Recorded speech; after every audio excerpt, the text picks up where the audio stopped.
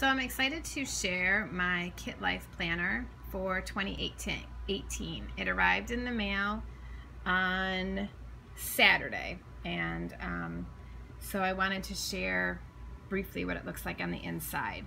And I ordered, you can choose your own cover. So I ordered this one and it's just a clip in, you can clip in the coil on the side.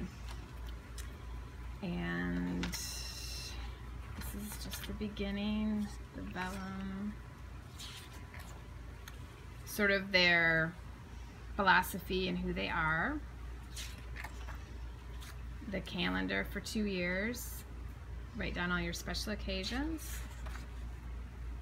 and this is the quarterly check-in and they do have one of these sheets at every quarter and it's just a way for you to track better track your goals kind of check in and see how you did for your last quarter or the, the goals you set or different things your reading list and things like that and this is the same these are the these are clear on the side for all of the months and every month is a different um, little tips and tricks or things that they recommend.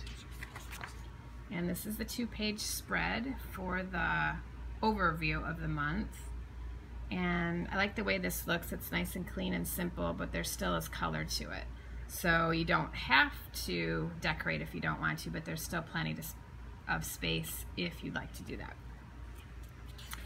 And then here are the daily pages. And what really drew me to this planner was that it had space for both your hourly breakdown as well as up here to, space to jot things down. And then you have your top three things to do, your wellness, which is, you know, what water you're drinking, exercise, that kind of stuff, and then your gratitude section. But I was using the Erin Condren hourly, and I liked that a lot because I do like to be able to plot out my day, especially if we have a lot going on. It's helpful. Um, but I didn't have any room really for anything else. So I like that I have this space up here.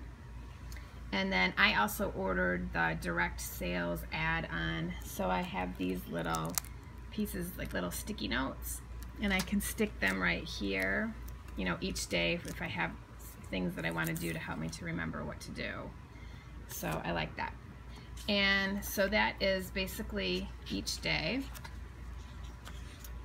Um, like I said at the beginning of the month, there's February, and it has different suggestions or ideas, monthly timely things to do. And at the end of February, and some of the other um, months, depending on how the months fall, it has this doodle break section where you have obviously spots to doodle or you can write more notes or things like that. So when you're going all the way to the back then, oh I liked this too, in November it has a gift list. So when you start doing some of your Christmas shopping, it's nice to be able to have this right inside your planner to be able to list this, um, what you're buying or what you're doing, things like that.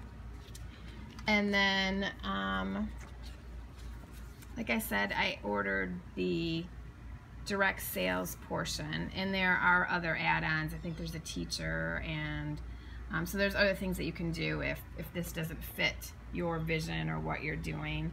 And I liked how this is um, a good way to track everything that you're doing. And it also has the, the vellum, but you know, talking about your goals, your team's goals, things like that and then you can keep track of um, really anything that you would need to for running your own business.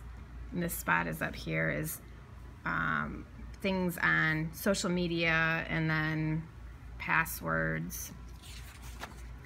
And then you can do direct sales expense tracking and that's for each month has the list over here and then each month you can track and then mileage if that's something that you would need just in the back is your team. You could keep track of your team members There's space for that. And that's it. And it's made in America. And you just get the front cover the back cover is the same for everything. But anyway I'm really looking forward to being able to use this starting in December, and I think this is going to be very useful for me and um, help me to stay organized. Thank you.